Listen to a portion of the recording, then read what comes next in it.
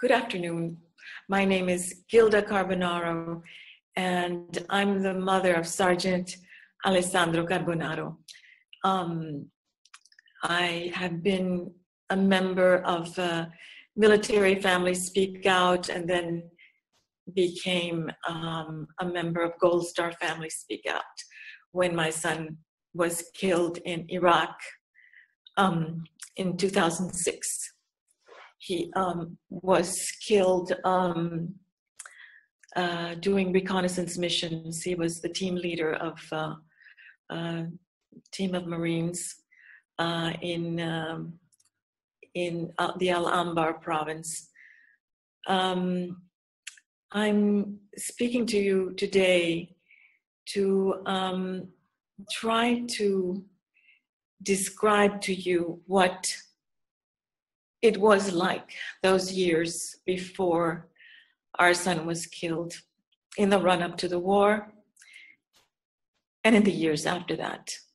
Um, when George Bush um, began to uh, speak of invading Iraq after 9 11, we were. Um, we were devastated. Uh, our son had become had re-enlisted in the Marines after 9/11 in his in his uh, sentiments to to be protected. He was a Marine, um, and so we were devastated when George Bush announced that he was going to be uh, invading Iraq.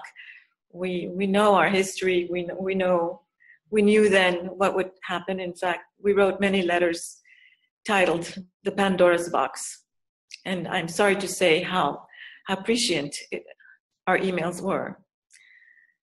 Our son uh, was deployed um, for the uh, assault on Fallujah, where he was injured, um, and then was sent back again. He came home from, from the attack on Fallujah and then was sent back to, to Iraq. Um, where he wouldn't last even a month. It was in 2006 where it was impossible to stay alive if you were out on the field in Iraq. Um, they they wanted us out of there. They we had no business there, and and um, and they wanted us out of there, and they were doing it the best way they could with bombs. And um, our son was injured, and uh, we went to Landstuhl to see him for the last the last moments that he had of life.